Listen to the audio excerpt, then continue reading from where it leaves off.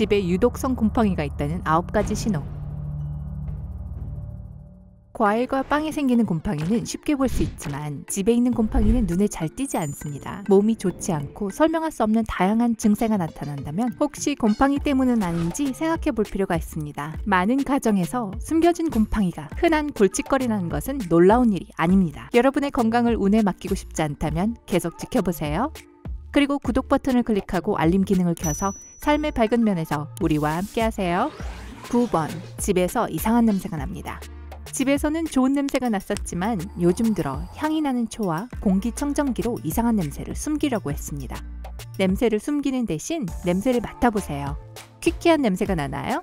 아마 전에 곰팡이 냄새를 맡아본 적이 있을 겁니다. 젖은 양말이나 제대로 마르지 않은 수영복 냄새 같을 겁니다. 곰팡이가 자라면서 특히 불쾌한 냄새가 나는 미생물 휘발성 유기화합물을 방출합니다. 집안의 냄새를 맡아보세요. 만약 퀴퀴한 냄새가 나거든 냄새의 흔적을 추적해보세요. 8번 기침이 멈추지 않습니다. 담배를 피우지 않고 천식도 아니고 감기도 안 걸렸는데 왜 계속 기침이 날까요? Stachybotrys chartarum은 인간과 동물에게 해로운 거무스름한 녹색 곰팡이입니다. 2004년 의학연구소가 실시한 보고서에서 곰팡이가 상기도의 문제를 유발할 수 있고 이것이 만성 기침의 원인이 될 수 있다는 사실을 밝혀냈습니다. 그것은 또한 목의 염증, 숨 쌕쌕거림, 그리고 호흡 곤란으로 이어질 수도 있습니다. 이 곰팡이는 몸에 있는 세포를 손상할 수 있는 진균독을 방출하는데요. 폐가 몸 안에 염증을 일으킬 수 있는 곰팡이 포자를 감지하면 해로운 침입자를 제거하기 위해 기침을 하게 만드는 거죠. 7번 근육통이 있습니다.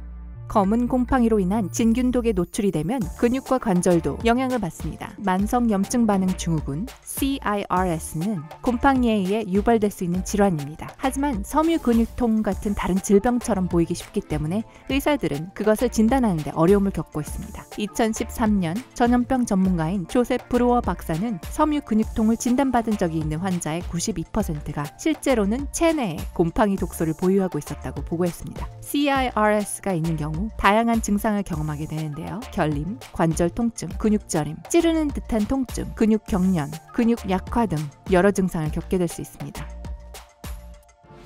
6번 벽에 얼룩이 생깁니다. 곰팡이는 정말 다양한 모습을 가지고 있습니다. 벽에 점으로 나타날 수도 있고 변색, 짙은 색의 원, 그리고 얼룩일 수도 있죠. 색깔이 항상 검은색인 것도 아닙니다. 녹색, 주황색, 갈색, 그리고 흰색일 수도 있습니다. 벽이 물이 새어서 손상되었다면 꼭 조사해 봐야 합니다. 물로 인한 피해를 오랫동안 그냥 두었을 경우 이미 곰팡이가 생겼을 가능성도 있습니다. 곰팡이와 물로 인한 피해는 항상 함께 발생하는 경향이 있거든요. 작은 곰팡이 자국이라도 곰팡이는 여러분이 볼 수 없는 벽의 반대편에 숨어 있을 수 있으니 철저히 조사해야 한다는 것을 명심하세요.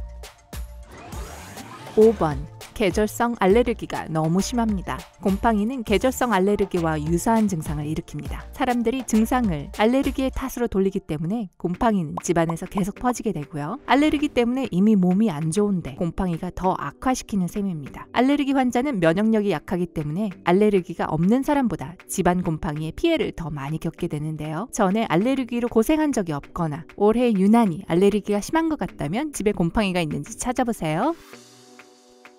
4번 천식이 있습니다. 2011년 알레르기, 천식, 면역학 연보에 실린 한 연구는 한 살짜리 아이가 집에서 곰팡이에 노출되면 7살 때쯤에는 천식이 생길 가능성이 높다는 것을 발견했습니다. 곰팡이에 대한 조기 노출은 유전적으로 천식에 걸리기 쉬운 아이들은 천식에 걸리게 하고 그렇지 않은 아이들에게도 영향을 미칠 수 있습니다. 이미 천식을 앓고 있다면 곰팡이가 증상을 유발할 수 있고요. 만약 천식이 있고 곰팡이에 알레르기가 있다면 그것은 치명적인 조합이 될 수 있습니다.